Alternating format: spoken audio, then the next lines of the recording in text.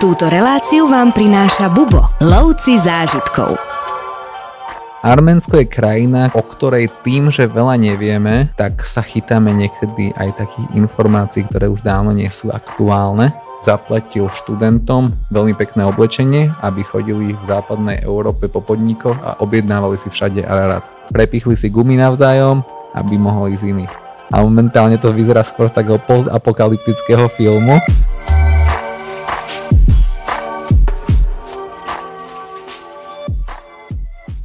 Martin Lipinský, môj kolega, je tu dnes opäť so mnou aj so svojím nákazlivým smiechom. Čau Martin. Ďakujem za pozvanie, pozdravujem. A tebe počuť, že sa usmievaš normálne. Povedz mi, o akej krajine sa dneska budeme baviť. Dneska sa budeme baviť o Arménsku. O Arménsku. To patrí medzi krajiny, o ktorých sa podľa mňa u nás vie relatívne málo. Súhlasíš? Súhlasím, ale dneska sa porozprávame, aby sme sa dozvedeli niečo viac. Tak poďme rovno na to, ako sa do Arménska dá dostať. Nedávno sme sa bavili o Gruzínsku a Arménsko máme hneď vedľa, takže to bude niečo podobné.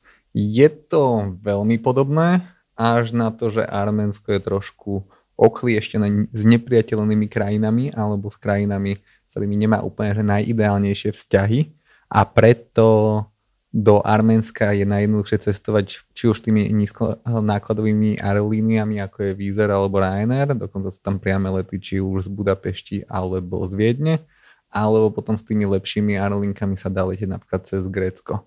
A aká si úroveň letísk, alebo kam letíme v Arménsku, ak môžeš priblížiť? Čo sa týka tých letísk, tak najjednoduchšou a takou najbežnejšou voľbou, že kam by ste mali doletieť je Jerevan, tým, že Jerevan je hlavné mesto Arménska, je to najväčšie mesto Arménska, má aj medzinárodné letisko a nachádza sa aj v tej centrálnej časti celej krajiny, tak preto je to aj celkom praktické docestovať práve do Jerevanu a odtiaľ si naplánovať celý ten výlet alebo to dobrodružstvo v rámci celej krajiny.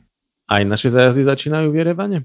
Naše zájazdy nezačínajú vždy v Jerevane. Arménsko si množstvo klientov pridáva do toho balíčku v rámci spoznávania celého Kaukazu, čiže to buď v kombinácii Azerbajdžan, Gruzínsko, Arménsko, alebo to Gruzínsko, Arménsko, ale ponúkame aj samostatné Arménsko a to začína v Jerevane. Ešte predtým, než sa pôjdeme ubytovať a povieme si niečo o ubytovaní a o ubytovacích službách a ich úrovni, povedz nám, či do Arménska potrebujeme slovenské a českí turisti, či potrebujeme nejaké doklady, myslím tým víza, povolenia a tak ďalej. Na vstup do Arménska potrebujeme mať platný cestovný pas, ale nepotrebujeme žiadne víza, čiže tá možnosť navštíviť Arménsko je o mnoho jednoduchšia než pri iných krajinách, kam ten, tie víza potrebujeme. Fajn, poďme si teraz teda povedať niečo o tom ubytovaní. Ako by si zhodnotil úroveň ubytovania? Úroveň ubytovania v rámci Arménska, tam si príde každý na to svoje. Či už ste fanúšikom luxusnejšieho ubytovania, alebo takého skromnejšieho ubytovania, tak v rámci hlavného mesta a jeho okolí si prídu naozaj všetci na svoje. A čo sa týka tých vidieckých oblastí, tak tam už to nie je také jednoduché, hlavne s tými luxusnejšími ubytovaniami, že tam už netreba očakávať štvorhviezdičkové Marriott hotely, že treba byť trošku skromnejší a mm-hmm. rozmýšľať nad tým, že Arménsko je podstatne chudobnejšia krajina ako väčšina tej modernej Európy ale zase na druhej strane je to o mnoho tradičnejšia krajina a tie zvyky a kultúrne má tá krajina čo ponúknuť, ale samozrejme je to trošku na úkor tých služieb, na ktoré sme zvyknutí v rámci Európy.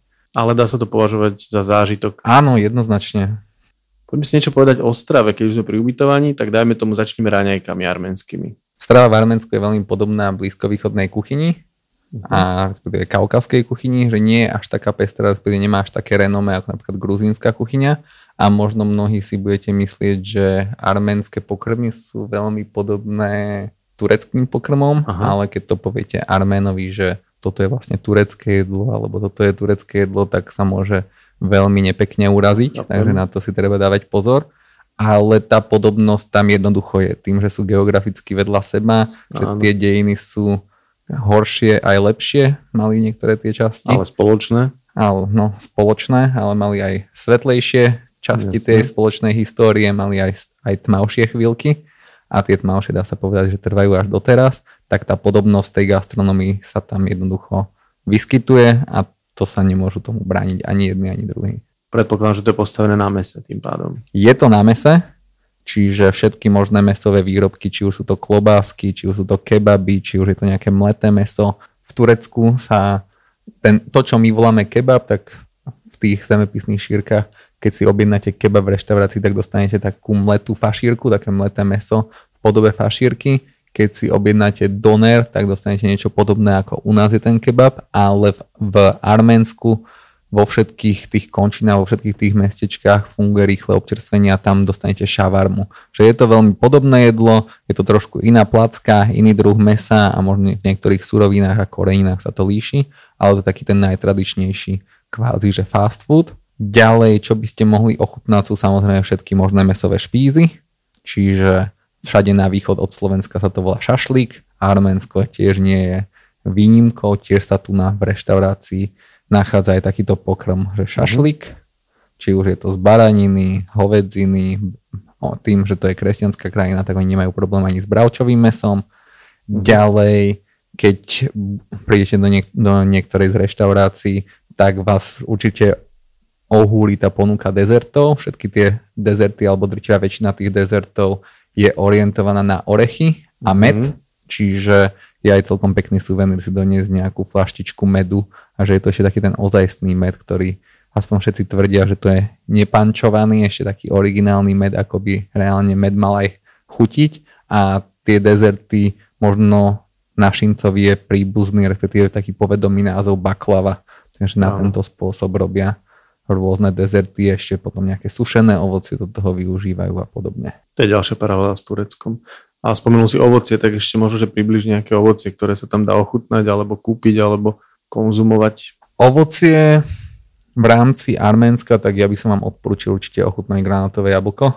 A hlavne v tých mesiacoch, kedy dozrieva to granátové jablko, to je už uprostred leta, že už by mali byť stánkári rozmiestnení v tých väčších mestách, prípadne pri ceste by mali mať tie mašinky na lisovanie šťavy z granátových jablk a je to veľmi osviežujúce, je to veľmi zdravé a hlavne v našich zemepisných šírkach sú granátové jablka nie až takou bežnou komoditou alebo proste nie až takým bežným ovocím, takže je to určite gurmánsky zážitok.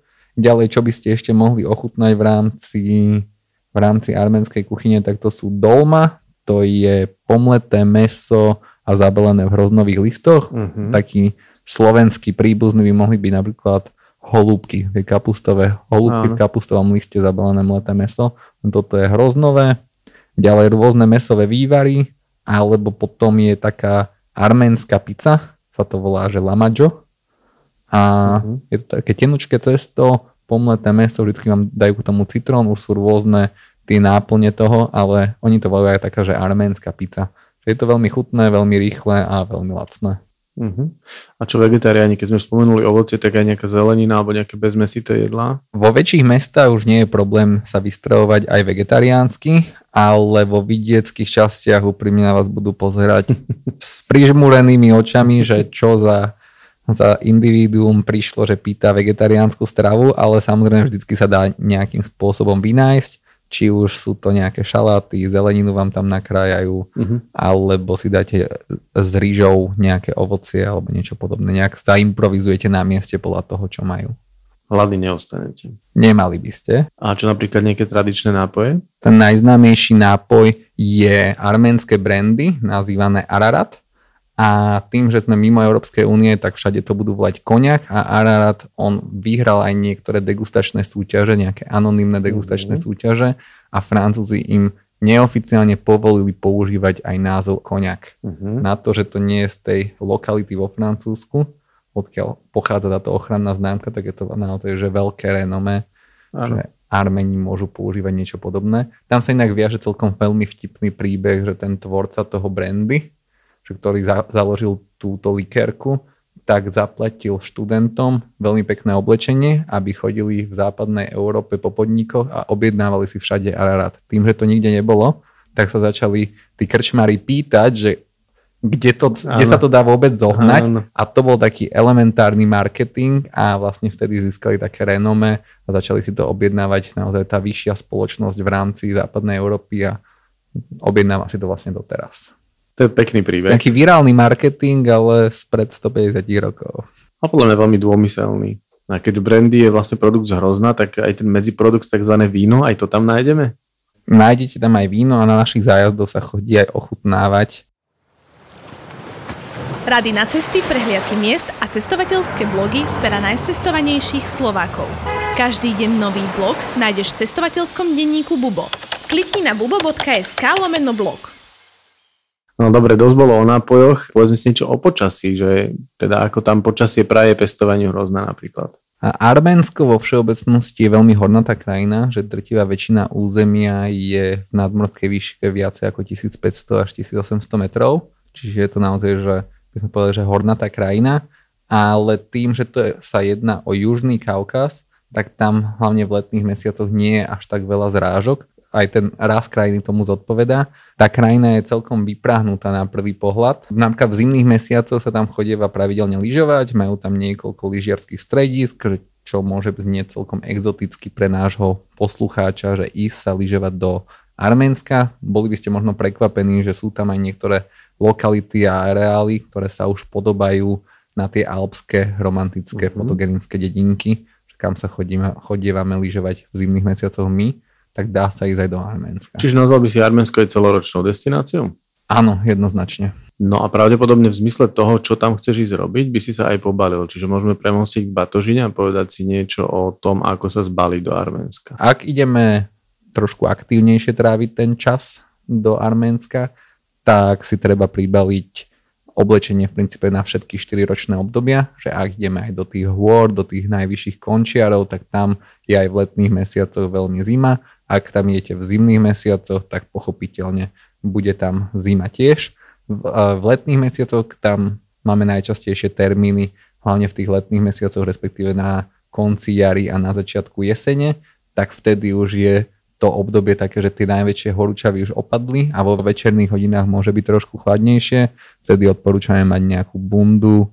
Ďalej v letných mesiacoch treba mať nejakú prikryvku hlavy, uh-huh. jednoznačne a samozrejme opalovacie krémy v letných mesiacoch a keď pôjdete na hory, tak oceníte to aj za pekného počasia v zimných zimnom oblečení, že vás nespalí na nose, na lícach a podobne. Ešte môžeme spomenúť prípadne zásuvky elektrické, to tak zvykneme pri Batožine vždy sa pri tom pozastaviť. Čo sa týka Arménska, tak kedy si to bola Sovietská republika, tak tie zástačky sú veľmi podobné tým našim, takže nepotrebujete žiadnu koncovku, žiadnu redukciu, nič špeciálne obchate tam aj naše elektrospotrebiče. Ešte ma tak napadá, oplatí sa pribaliť si treba splavky? Určite sa to oplatí, pretože v Arménsku sa nachádza Vysokorské jazero v nadmorskej výške 1991 mm-hmm. metrov. Ono si myslí, že odkiaľ som sa to nabiflil, ja som narodený 1991, takže to si pamätám. A to Vysokohorské jazero sa aj nazýva, že Arménske more, ale tá voda je pre takých trošku dobrodružnejších a odvážnejších, že tá voda tým, že je v takej nadmorskej výške, netreba očakávať úplne, že 25 stupňov a pomaličky malé divy, ale je to vysokohorské jazero a dá sa tam okúpať, ale je to pre takých odvážnejších. Pre lovcov zážitkov. Presne. Dobre, myslím si, že by sme sa mohli teraz povenovať napríklad infraštruktúre a respektíve skôr možno dopravným prostriedkom, ktoré na našich cestách využijeme a použijeme. Infraštruktúra v rámci Arménska cestná aj železničná sieť je vybudovaná, ale tá železničná je vybudovaná asi tak 30-40 rokov dozadu, respektíve mm-hmm. vtedy prebehla možno posledná modernizácia a tá kvalita vlakov tomu aj zodpovedá, že tie vláčiky idú veľmi pomaly, mm-hmm. idú veľmi dlho a tie vozne nie sú najnovšie. Tú krajinu. Áno, presne. Akože prídeš si na svoje, s každým sa tam skamarátiš, Nepoznám nikoho, kto by vyšiel z vlaku triezvy, či už turista alebo miestny, to, je, okay. tak, že to patrí k tomu koloritu. Čo sa v, uh, dopravnej situácie týka, tak oni majú veľmi málo diálnic, majú vlastne diálnice len v okolí Jerevanu a potom do, druhé, do ďalšieho mesta Sevan, to je pri tom vysokohorskom jazere Sevan. Čiže to je vlastne, dá sa povedať, že jedna jediná taká väčšia diálnica, potom ešte niektoré tie obchvatné, obchvatové diálnice okolo hlavného mesta. Inak tie cesty ten arménsky terén je veľmi náročný na to, aby tam vybudovali cesty a Arménsko nie je až taká bohatá krajina, aby si mohla dovoliť vybudovať tunely alebo nejaké viadukty, aby to nejako premostili. A hlavne v tej severnej časti krajiny tam je dosť veľa takých hornatých ciest, serpentíny a podobne. Čiže tam sa treba trošku obrniť trošku trpezlivosti, ale vždycky sa dá nájsť nejaká zaujímavá zástavka, ktorá je po ceste, či už sú to nejaké chrámy, pamiatky UNESCO alebo nejaké pevnosti. Mhm, k tým zaujímavým miestom sa ešte dostaneme. Len nám ešte povedz, aký typ teda prepravy využívame my na My našich využívame najčastejšie mikrobusy a v rámci aj celej krajiny, že keď sa budete presúvať individuálne, tak vaša, vašou naj, normálnejšou alebo najbežnejšou možnosťou sú tzv. maršrutky. To sú mikrobusy, žiadne grafikóny, zase ten istý systém ako v niektorých iných postsovietských krajinách že jednoducho sa to zaplní a vtedy to odchádza. Takže žiaden grafikon, že o 10.30 buď tam a tam. Uh-huh. Prijete jednoducho na autobusovú stanicu a tam tí samozvaní manažéri tej autobusovej stanice alebo toho parkoviska, väčšinou je to len nejaká odstavná plocha v meste alebo za mestom, tam si vás už podelia do tej maršrutky tak, ako sa patrí. Čiže keď jednu zaplňa, už stojí druhá pristavená a tá sa pomaly plní. Dosť často sa zaplňajú aj dve, tri naraz. Aha. Netreba tam hľadať nejakú hlbokú logiku. Tam je konkurencia, tvrdý kapitalizmus. Okay. Majú to vymyslené. Prípadne už som zažil aj taký zážitok, že prepichli si gumy navzájom, aby mohol ísť iný. Výborne. Alebo si rozbijali ešte čelné sklo. Že to oh. už sa trošku vytratilo, ale stále je vidno. Tento zážitok už nie je možné uloviť len tak ľahko? Už trošku civilizovalo aj toto mafiánske správanie, že už si nerozbijajú čelné skla. Ale paradoxne každý šofer vám povie, že to bolo krupobytie a preto má rozbité sklo. A potom ešte samozrejme sa dá objednať napríklad taxík, že je to celkom bežný spôsob dopravy, že tí tak, taxikári sú ochotní ísť s vami kľudne aj pol krajiny, ak dostane zaplatené. A fungujú tam aj také tie modernejšie taxíky cez aplikácie? Fungujú, ale nie sú to tie firmy, ktoré poznáme zo západnej Európy, nie je to Uber, ani Volt, Bolt, Hopin mm-hmm. a podobne. No mne samozrejme pri tých rozbitých čelných sklách a prepichnutých pneumatikách napadla hneď bezpečnosť. Možno niečo povedať o bezpečnosti takej tej turistickej alebo návštevníckej, ale môžeš prípadne nejaké zdravotné rizika spomenúť.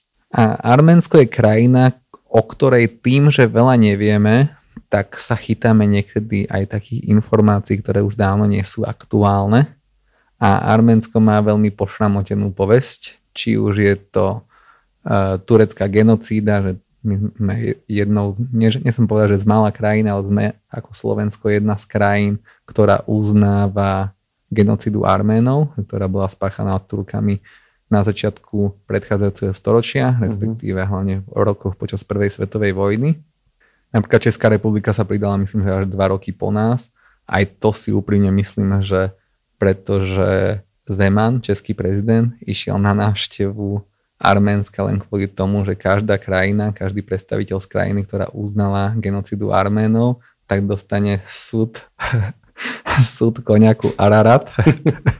A potom, ako tam bol vtedajší predseda parlamentu Andrej Danko, tak do dvoch mesiacov tam naklúsal aj Zeman a dostal aj on vlastný súd. Že mal dobrú referenciu. Čiže dovtedy Češi neuznávali genocidu Arménov. Dobre, ďalšia vec je, že čo sa týka tej bezpečnosti, tak v 90 to akože úplne odbočka, hej, ale neviem, podľa je to celkom taká pikoška, že sa podľa nevedelo o tom, že sa rozdáva alkohol. A inak tú tradíciu tam začal Boris Jelcin, že kedy sa vyvážovalo brandy. Celá tá tradícia bola o tom, že každá politická návšteva, čo prišla do Arménska, do hlavného mesta, do Jerevanu, tak ho zobrali v rámci toho, že ukázať aj niečo z toho Arménska, tak ho zobrali aj do tejto destilérky Ararat a kedy sa vyvážovali tí politici množstvom toho brandy vo flaškách. Keď prišiel Jelcin, on si zobral štyroch ochrankárov na tú váhu, aby ho vyvážili o mnoho väčším množstvom alkoholu a odvtedy povedali, že OK, tak toto nebudeme robiť, každý dostane jeden súd a bodka. A ten súd si buď môže zobrať domov, alebo ho tam môže ponechať, dajú tam nejakú plaketu na ten súd, stále je jeho, ale že tam naberá na tej hodnote. Lebo to brandy, ono nestarne vo flaši, ale starne iba v tých Súde, dubových, teda dubových, alebo záleží z akého dreva sú tie súdy. A Teraz som odbočil od tej bezpečnosti. Ďalšia vec je, že v 90. rokoch Arménsko a Azerbajdžan tvrdo bojovali o e, región Náhorný Karabach, respektíve dneska sa to volá Republika Arcach. Možno ste počas koronových časov zachytili, že sa tie boje obnovili a tie regióny, ktoré boli pod správou tých arménskych síl, tak čiastočne sa museli niektorých okresov vzdať ale hlavné mesto Stepanaker nebolo dobité a momentálne sa tam starajú o nejaký taký krehký mier ruské jednotky, je ich tam asi 5000 vojakov a dohliadajú na tento krehký mier, či sa bude pokračovať v bojoch alebo nie. Momentálna dohoda je, že na 5 rokov by tam mal byť kľud a mal by byť pokoj, tak uvidíme, že dokedy. My ale do týchto území asi zrejme nechodíme. Kedy si sme chodievali do Náhorného Karabachu, ale momentálne sa kvôli tej situácii nechodieva, ale tým, že tam boli boje v našich zemepisných šírkach, úplne nerozlišujeme, že čo je Náhorný Karabach a čo je Arménsko a tie boje nie sú na území Arménska a keby náhodou boli, tak to znamená počas, podľa medzinárodných zmluv, že sa musí do bojov zapojiť aj Rusko a to úprimne si nikto nežela z tých zúčastnených strán, či už je to Azerbajdžan alebo Turecko, a ani Arménsko. Tam je ešte ďalšia taká paradoxná situácia, že Arméni vlastne prehrali v tej vojne, čo prebiehala rok a pol, dva roky dozadu a vtedajší líder krajiny Pašinian, on podal demisiu, ale bol znovu zvolený. Čiže predstavte si, že čo je to za politika, ktorý potlačil korupciu, ako má veľkú oblubu v rámci krajiny, keď prehráte vojnu, kde zahynulo naozaj že stovky ľudí až tisíce ľudí a oni si vás znovu zvolia. Čiže tej bezpečnosti sa tam momentálne netreba obávať, že boje nezúria žiadne. Je tradičné, že sa dozviete o nejakej prestrelke z Náhorného Karabachu, ale na území Arménska sa naozaj nebojuje ani nestrelalo už naozaj veľmi dlho. A čo napríklad bezpečnosť, taká tá klasická v meste, keď chceš ísť von? tie mesta sú plne o mnoho bezpečnejšie, napríklad mesta na Slovensku alebo v Čechách. Čiže ide o to, ako veľmi veľké nebezpečenstvo chcete zažiť, tak také si ho viete spraviť. Keď chcete byť opitý uprostred noci niekde na periférnych štvrtiach, kde vám nikto nikdy nepomôže, tak je to na vás, keď sa budete správať normálne, rozumne a s takým tým zdravým úsudkom a veriť svojim inštinktom, že toto je správne, toto nie je správne, to je bezpečné, toto nie je dobrý nápad, tak sa vám naozaj reálne nemá čo stať. Maximálne nejaká nepozornosť, že zabudete niekde foťák, taštičku s foťákom, mobil, doklady. Na to si treba dávať pozor, Samozrejme. ale to sú také, sa vám môže stať hoci kde. Určite to sú veci, ktoré, na ktoré si treba dávať úplne všade pozor a stále. A čo napríklad bezpečnosť eh, v rámci premávky? Premávka v Arménsku je prekvapivo veľmi distingovaná. Že v porovnaní s tými krajinami, s ktorými Arménsko susedí, či už je to Gruzínsko, Turecko, Irán alebo Azerbajdžan, tak tá doprava a premávka, zrazu tí, tí, tí vodiči stoja normálne, že na semafore. Normálne, že to nie je len, že Neblážne. dotvára ten semafor atmosféru križovatky, ale reálne tam aj na niečo je, že aj slúži na niečo. A nám sa veľmi páčilo, že napríklad chodci majú odrátavanie, že kedy skončí zelená, kedy mm-hmm. skončí červená. Takže v tomto sú možno trošku aj popredu oproti, oproti našim zemepisným šírkam, kde neviete ešte, ako dlho bude zelená alebo červená. ale už u nás to vidíš, ale je to tak v zárodkoch iba. Áno. Čiže by si Arménsko zhodnotil ako bezpečnú krajinu. Jednoznačne Arménsko patrí medzi najbezpečnejšie regióny, ktoré sa dá vlastne navštíviť. Keď si chceš ísť vybrať do bankomatu peniaze, postavíš sa k bankomatu a úplne bezpečne si ich vyberieš. Áno, ak vám bankomat akurát nezhodne kartu, keď ste zadali trikrát nesprávne PIN kód, tak si ich naozaj aj vyberiete. Ale skôr som mieril toto otázkou k tomu, že si poďme niečo povedať o miestnej mene, finančnom systéme, platbách, bezhotovostných, hotovostných bankomatoch a vôbec o tom, ako používať peniaze v Arménsku. V hlavnom meste v Jerevane nie je problém platiť kartou, v tých vidieckých oblastiach veľmi zriedka majú nejaké terminály alebo niečo podobné, čiže je ideálne mať taký mix, že aj nejakú hotovosť, aby človek nezostal že na suchu, ale dá sa platiť aj kartou, čiže nemusíte mať obrovské množstva hotovosti so sebou. Hotovosti znamená aké meny? dramy. Oni majú dramy a 1 euro je približne 400 dramov. Odporúčaš ich vyberať z bankomatu alebo radšej si zameniť, treba znieť po prilete na letisku alebo sú tam zmenárne? V každom alebo... väčšom mestečku majú zmenáreň, čiže ak máte so sebou zahraničnú menu, či už je to euro alebo dolár, tak nie je problém to zameniť. Ak máte kartu, tak v každom väčšom meste sa nachádza aj bankomat. Keď sa ocitnete niekde na vidieku, tak môžete mať seriózny problém, že či zaplatíte kartou a či vôbec máte možnosť vybrať tie peniaze. Ďalej neodporúčam meniť ani vybrať peniaze z bankomatov na letisku. Väčšinou sú, sú to také turistické mašiny, ktoré majú veľmi vysoké manipulačné poplatky uh-huh. a bankové. Ty si viackrát už spomenul uh, mesta a vidiek, taký ten kontrast v krajine. Keby si nám mal zhrnúť nejaké miesta, ktoré uvidíme počas jazdu, prípadne to nejako vyšpecifikovať na tvoje najblúbenejšie, ktoré na týchto našich cestách môže klient vidieť. To najkrajšie mesto, že ktoré v rámci toho Arménska uvidíte, je hlavné mesto Jerevan. To má naozaj čo ponúknuť po, vo všetkých smeroch či už čo sa histórie týka, mm-hmm. či už nejaké chrámy, potom je tam múzeum genocídy, mm-hmm. nachádza tam obrovské kaskády, čo je také umelecké dielo, ktoré ešte stále nie je dokončené, začali ho stavať v 90. rokoch. V útrobách tých kaskád sa nachádza modern, múzeum moderného umenia, tak je to, človek tam prechádza z tej kaskády, predstavte si také obrovitánske schody zvonku v takom svahu a vy sa viete dostať dovnútra a prechádzate eskalátormi ten interiér a máte rôzne exponáty aj po ľavej, aj po pravej strane. E, na jednotlivých tých podlažiach sa viete prejsť aj po vonkajšej strane tých kaskád uh-huh. a hlavne pri západe slnka je to veľmi pekné. Ďalší rozmer to, tých výhľadov je, že keď je dobrá viditeľnosť, tak vidíte aj legendárny vrch Ararat, ktorý ale momentálne leží v Turecku ale v rámci tých arménskych srdc a duší, hm. tak je to navždy vlastne arménska hora. A keď prídete do Arménska, tak tam zistíte aj, že všetko sa volá Ararat. Tam sa volajú krčmy, reštaurácie, koniak, víno, hotely, naozaj všetko sa volá Ararat. Uh-huh. Hej, čiže toto je v hlavnom meste, keď vidíte na vrchol tých kaskád, tak sa dostanete ku zábavnému parku. Ten, zá, ten bol zábavný tak možno 40 rokov dozadu, keď bol vtedy nový a momentálne to vyzerá skôr takého postapokalyptického filmu.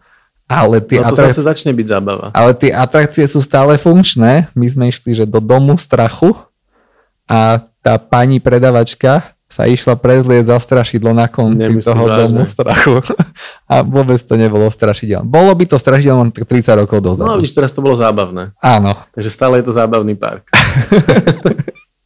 Toto je inak výborné, že sa pani išla prezliecť. Potom ešte to múzeum genocídy, tak tam bola zase zaujímavá vec to, že ak návštevník pochádza z krajiny, ktorá uznala genocídu, tak má vstup zadarmo. Ak pochádzate z krajiny, ktorá neuznala genocídu, mm-hmm. tak platíte symbolické vstupné, myslím nejaké 4 alebo 5 eur. Tak ale už na vstupe do múzea vám dajú vlastne pocítiť, že mm-hmm. vy ste ten, ktorý musí platiť. Mm-hmm. Si pamätám, že keď som tam bol prvýkrát, keď Češi ešte neuznali genocídu, tak taká česká zostava sa tvárila, že sú Slováci. Nezapreli. A ako si ich identifikoval potom? Sandale, ponožky, hladvinka. Dúfal som, že to povieš. Dobre, ďalej, čo by ste mali navštíviť a čo by ste nemali navštíviť v rámci Arménska? Určite choďte na Vysokorské jazero Sevan sa pozrieť uvidíte, aké tam majú pekné veľké pstruhy, čistá voda, mm-hmm. svieža, reská voda. Len v letných mesiacoch tam chodia dosť veľké skupiny Iráncov žúrovať, tým, že v Iráne nemajú povolený alkohol, v Arménsku povolený alkohol je. Mm-hmm. Tak, tam chodia na také plavby na to jazero Sevan a aj o 9. večer už sú niektorí, nie o 9. večer, o 9. ráno už sú niektorí a, a, a Iránci v takom štádiu wow. ako u nás okolo polnoci, keď sa človek pôjde prejsť po nejakej obchodnej ulici. Čiže oni naozaj si užívajú ten nádych tej slobody, ktorá im nie je umožnená úplne, že v rámci mm-hmm. Iránu. Je celkom paradoxná situácia, že Arméni majú najlepšie vzťahy práve s moslimskou krajinou, ako je Irán, tým, že s Azerbajdžanom nemajú dobré vzťahy, s, s Turkami nemajú dobré vzťahy, Gruzínci zase majú napäté vzťahy s Rusmi Arméni vďaka Rusom ešte stále nejako existujú alebo majú nejaké garancie bezpečnostné a od Iránu zase čerpajú ropu a plyn. Irán, na, na Irán sú zase uvalené medzinárodné sankcie, čiže ten obchod tam prebieha aspoň v nejakej miere, čiže oni majú celkom dobré vzťahy, lebo sa hlavne potrebujú. Nie kvôli tomu, že by sa mali nejak úžasne radi, ale sa potrebujú. Mm-hmm.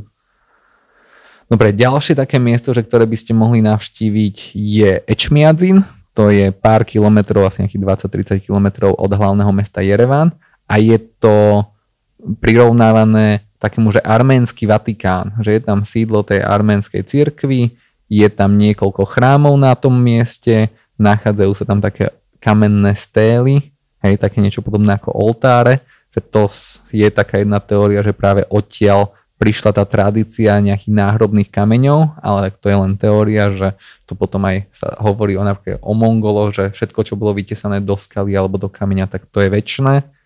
Ďalšia vec je, že v rámci tohto arménskeho Vatikánu tak tam je aj množstvo relikví vystavených aj pre verejnosť. Samozrejme si treba pozrieť a dať si pozor na otváracie hodiny, ale pre tú verejnosť tam napríklad uvidíte kríž, v ktorom je trieska z Ježišovho uh, krížu, mm-hmm. na ktorom bol ukrižovaný.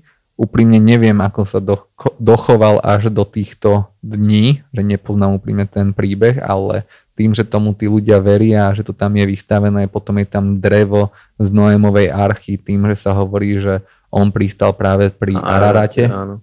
Ďalšia taká destinácia, ktorú by ste mohli obzrieť, tak je zase na juh od hlavného mesta, od Jerevanu a to je chrám Korvirab a je to hneď na hraničnej čiare s Tureckom. Sa nachádza tento kláštor, ktorý bol aj pevnosťou a zároveň bol aj väzením. Do toho väzenia sa dá aj vojsť, takže je to v taká katakomba, taký úzky tunel, taký komín. A zrazu sa ocitnete v takej 5-metrovej miestnosti, zhruba 5-metrová miestnosť.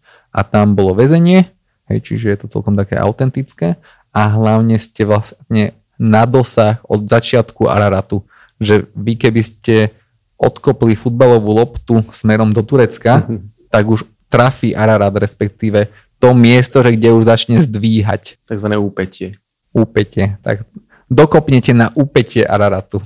Čiže ale pri Batožine si zabudol potom povedať, že si treba priniesť futbalovú loptu. Good point. Aspoň vidím, že ma počúvaš.